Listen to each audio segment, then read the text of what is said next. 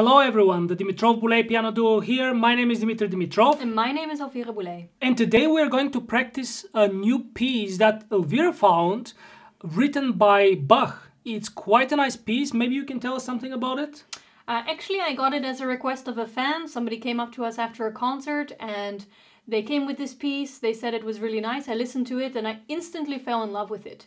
It's a, a piece by Bach. It's Gottes Zeit ist die allerbeste Zeit.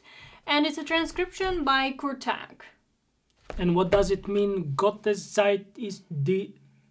I, uh, I, I, I'll My... look it up. My German isn't that great, but I think it means time, the time with God is the best time. I don't know. Don't be scared, this is not a religious video, it's just a beautiful piece by Bach. Let's get uh, practicing. Now the piece says molto adagio, so I, I was thinking, when the first time we looked at it, I thought one tempo could be this.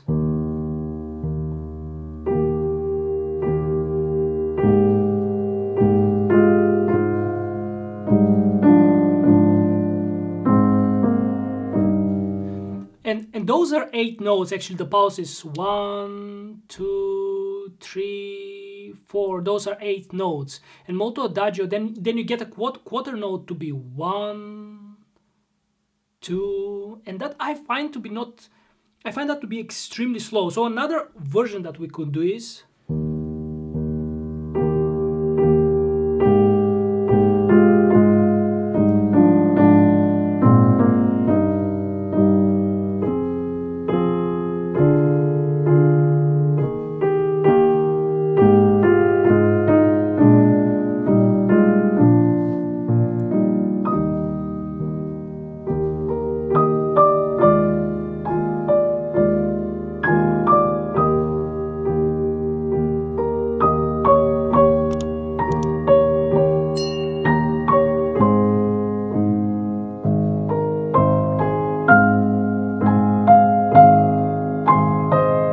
So this is a little bit more flowing, mm. right? Shall we try it once in the slower tempo? Uh, just just to see because it's nice when you don't know about a tempo it's nice to just explore different versions and that's that's a little version that maybe i actually it's difficult to say i i don't know if i prefer really the the faster version i like also the slow but I feel that it's even slower than Adagio. That I, I don't know. What do you think? I personally I prefer the slower tempo, but I do think that actually since we're recording this now anyway, it's a great opportunity to maybe play both of them completely through from beginning to the end and to see which one we prefer as a public point of view because it's always different sitting here while you're playing, you always listen differently than when you're actually sitting sitting in the public. So what do you mean public point of view? So when you're sitting in the public, right, you're not doing anything, you're listening. So if we record it now, we listen back. That's then we're listening from the public's point of view. Anyway, let's show them the slower version. Yeah, cool.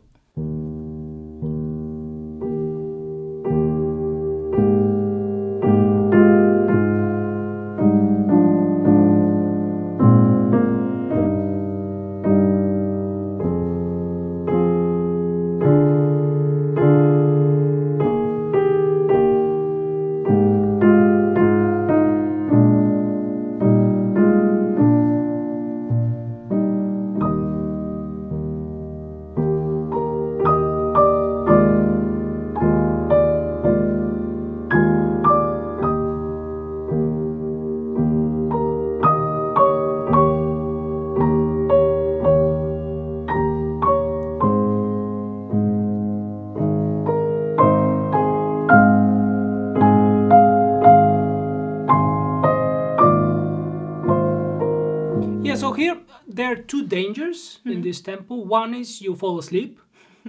I'm joking, of course. There is the danger when you when you choose such a difficult, such a slow tempo. What's difficult in such a slow tempo is to maintain a very long line, mm-hmm. because if you cannot do that, then what's going to happen? Is the piece is going to you're going to actually start your audience or even yourself as a player. You're going to actually start drifting away. Falling asleep was a joke, but in a way, you're going to start drifting away, and you're going to start losing the line, and your audience is going to lose attention so depending on what tempo you choose, a little faster tempo would be easier to maintain, mm-hmm. would be easier to actually follow. and a slower tempo would be more difficult. Do So you already have a preference now, or I have the preference for the faster at the moment, and that, that might change later on. But at the moment, I, I like this.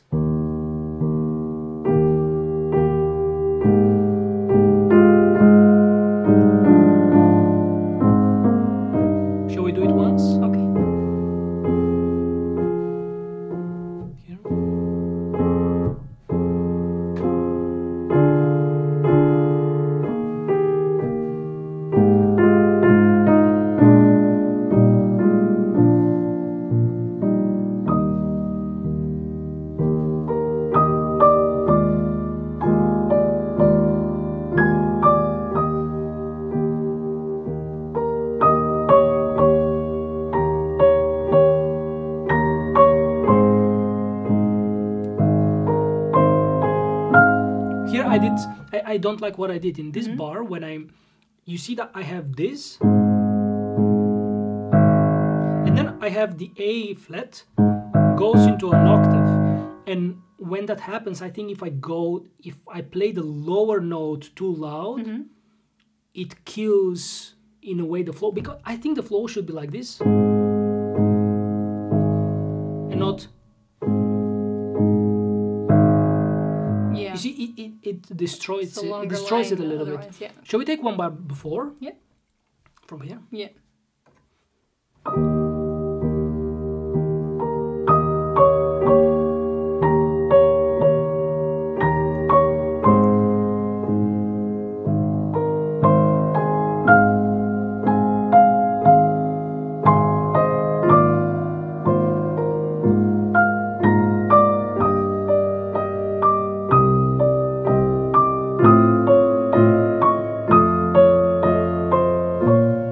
Practice once more this because I get from A flat hmm Yeah. to to A natural. I think that's a nice spot. Can we do from this bar and hear hear the the different intonation? Yeah.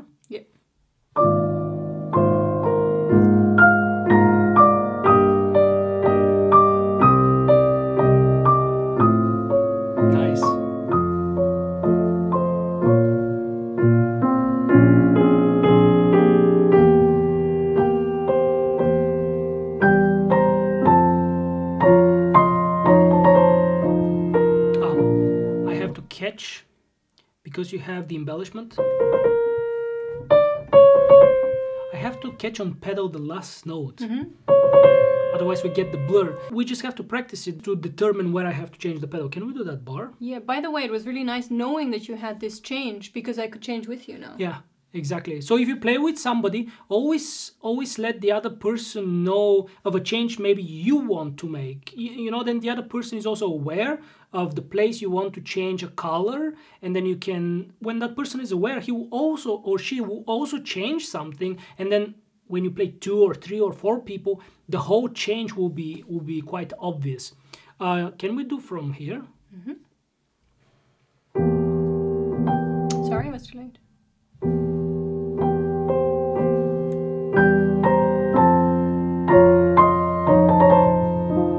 Quite difficult. Okay. Um, can, can we do directly Yeah. there? Mm, okay. Once more. I think I just have to not put any pedal until your main note. Can we try once? Yeah, sure. From here? Okay.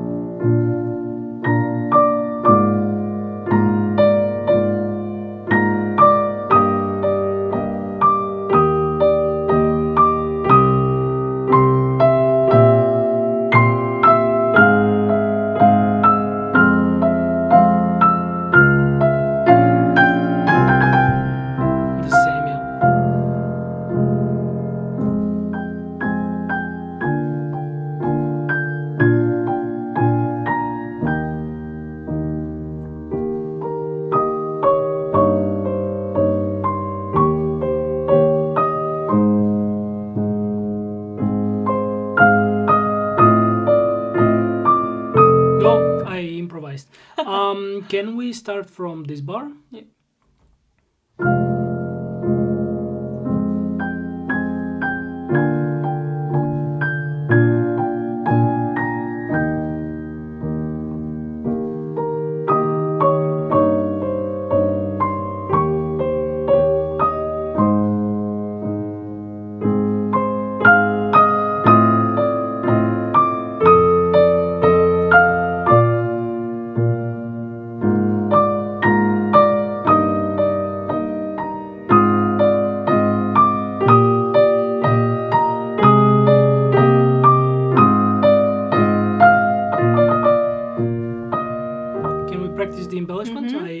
I, I thought I caught a little bit of uh, of the upper note, and then we got a second. Oh, okay. Um, then we got. We want to avoid that. Can we do it from here? Is it possible?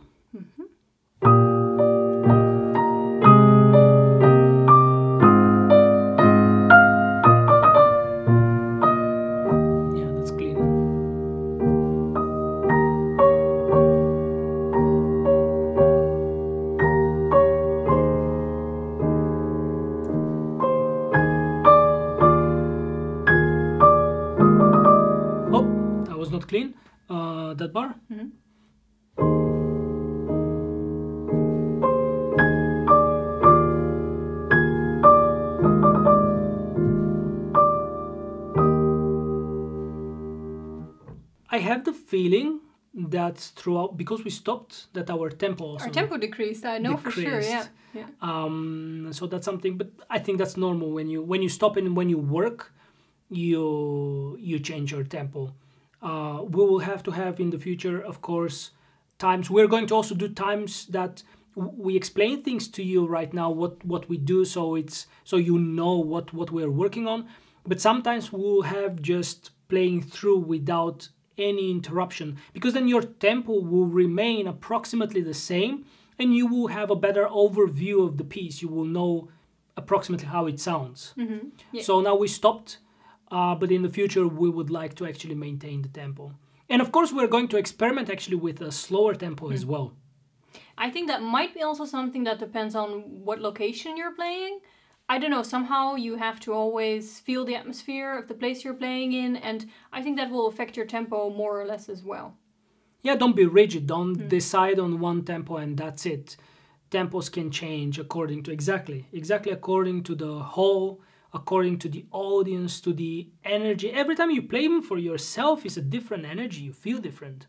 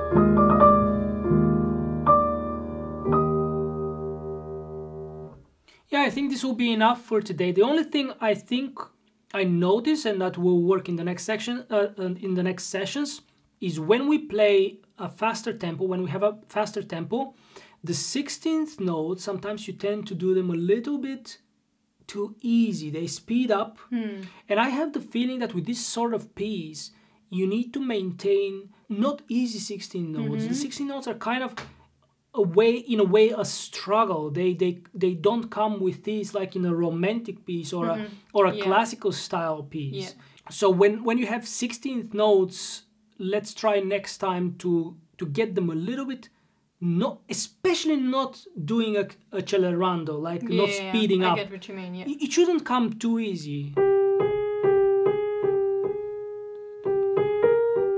Yeah, this I like da what you dee mean, da da, but like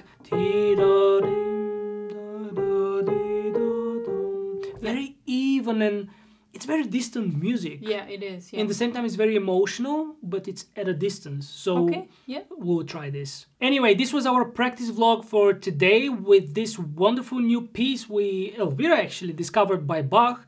Uh, we enjoyed practicing. If you have any comments, any questions, anything that's important to you, leave your comment down below. Don't forget that if you enjoyed the video to give it a thumbs up and don't forget to subscribe to our channel so that you can get notified every time that we upload a new video. Not only that, you can also help us grow our channel. Thank you for watching this video. For us, recording it for you was a great pleasure and we will see you next time.